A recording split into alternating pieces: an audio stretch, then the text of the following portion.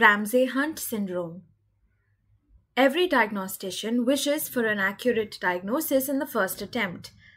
But a true clinician knows when to pick up a hint and change the diagnosis.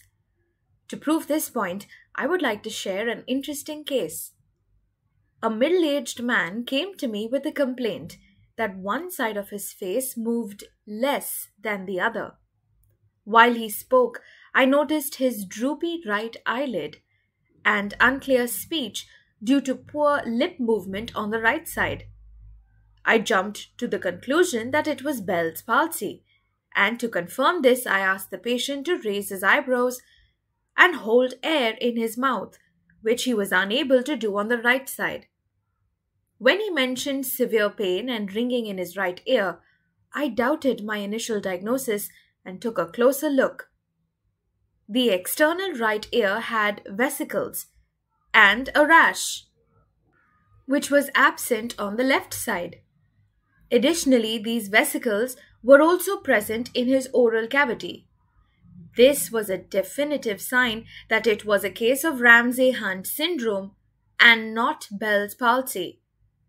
Now, other than Bell's palsy, Ramsay Hunt syndrome can also be confused with otitis and trigeminal neuralgia. Otitis can be ruled out by the presence of rash an onset of facial palsy. Though trigeminal neuralgia pain is similar to Ramsay Hunt syndrome pain, it tends to be paroxysmal, stimulated by triggers without skin manifestations.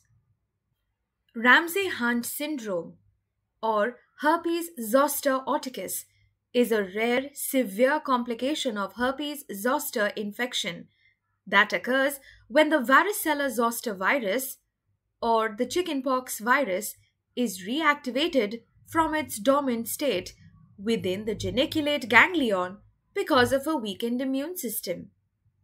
Speaking about the clinical features of Ramsay Hunt syndrome, the primary three that are unilateral vesicles of the external ear preceded by otalgia, vesicles in the oral cavity, and ipsilateral facial paralysis were seen in my patient.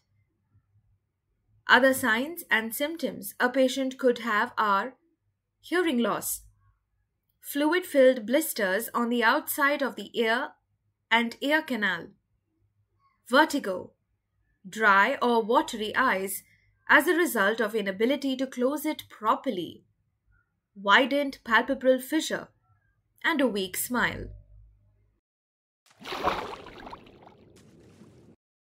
Ramsay Hunt syndrome is also known as cranial polyneuropathy, and besides facial nerves, cranial nerves 5, 8, 9, 10, 11, 12, and C2 to C4 cervical nerves may also be involved.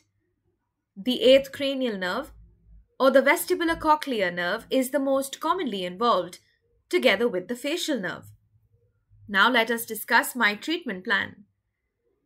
I prescribed painkillers and a combination of 1 gram valacyclovir thrice a day for 10 days and prednisone 1 milligram per kg for 5 days after which I tapered it.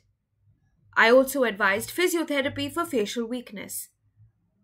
Other antiviral drugs that can be used are acyclovir 800 milligrams 5 times a day for 7 to 10 days, famciclovir, penciclovir, and brivudine. In some cases, surgery to relieve pressure on the facial nerve is recommended. If left untreated for over a week, Ramsay Hunt syndrome could cause irreversible damage. The full neurological recovery rate is significantly as low as 10 to 30 percent. Pop quiz.